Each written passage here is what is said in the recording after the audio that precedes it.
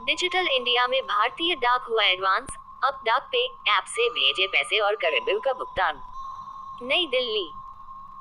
डाक विभाग, भारतीय डाक और भारतीय डाक भुगतान बैंक आईपीपीबी के उपभोक्ता अब ऐप डाक पे के ज़रिए बैंकिंग सेवाओं का परिचालन कर सकते हैं। संचार एवं सूचना प्रौद्योगिकी मंत्री रवि शंकर प्रसाद ने मंगलवार को इस ऐप की शुरुआत की।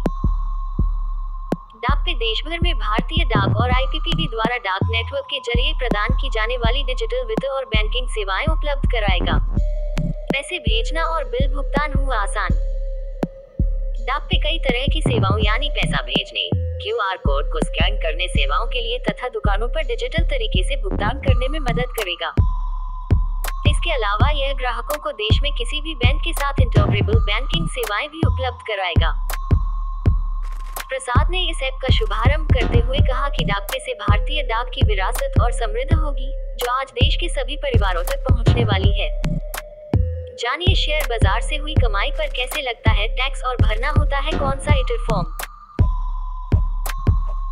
उन्होंने कहा, यह एक नवोन्मेषी सेवा है, जो सिर्फ़ बैंकिंग सेवाओं और डाक उत्पादों तक ऑनलाइन पहुँच ही उपलब्ध नहीं कराती है, बल्कि यह एक विशिष्ट अवधारणा है, जिसमें कोई ऑर्डर देकर डाक वित्तीय सेवाओं को अपने घर के दरवाजे पर पा सकता है।